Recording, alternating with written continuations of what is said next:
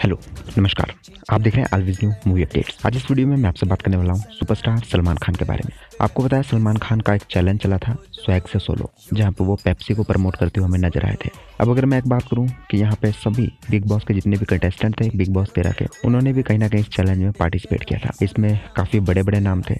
हम चाहे आसिम व्यास को ले लें, या फिर हम बात करें बिग बॉस तेरह की जो एंटरटेनर थी, शहनाज गिर वो भी इस पार्ट इस प्रोजेक्ट के साथ जुड़ी थी। या आप कह सकते हैं सॉन्ग के साथ, इस एड के साथ जुड़ी थी, जहाँ पे वो भी हमें इस सॉन्ग पे थिड़कती हुई और नाचती हुई दिखाई दी थी और साथ ही साथ ये भी इस चैलेंज के साथ जुड़ी थी।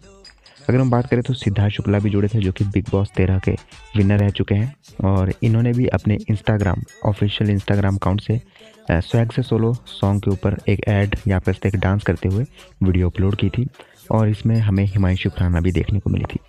अब बात यूँ हुआ कि जैसे ही ये वीडियोस रिलीज़ हुई टिकटॉक से और इंस्टाग्राम से तो ऑब्वियस सी बात है कि टिकटॉक पे भी ये आनी ही आनी थी और टिकटॉक पे जैसे ही रिलीज़ हुई, मैं आपको बता दूँ कि स्वैग स्टेप चैलेंज जी हाँ दोस्तों, अगर आप टिकटॉक पे swag step challenge hashtag search मारोगे तो 71 बिलियन व्यूज़ जी हाँ दोस्तों, सिर्फ़ और सिर्फ़ दो दिनों में 71 बिलियन व्यूज़ इस चैलेंज पर आ चुके हैं, जो कि मुझे लगता है कि एक बहुत ही बड़ा वर्ल्ड रिकॉर्ड बन चुका होगा। सेवेंटी बिलियन वो भी दो दिनों में व्यूज़ आना कोई छोटी मोटी बात नहीं है। तो मैं तो यही कहूँगा कि जितने भी सलमान खान के फैंस हैं टिकटॉक पे उन्होंने धमाल कर दिया है। और इस चैलेंज पे जिन्होंने भी ये वीडियोस अपलोड की है आ, वो भी बहुत ज़्यादा बार देखी गई हैं।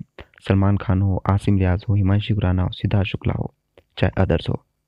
सब्सक्राइब करें बेल आइकन को प्रेस करें लेटेस्ट अपडेट जानने के लिए।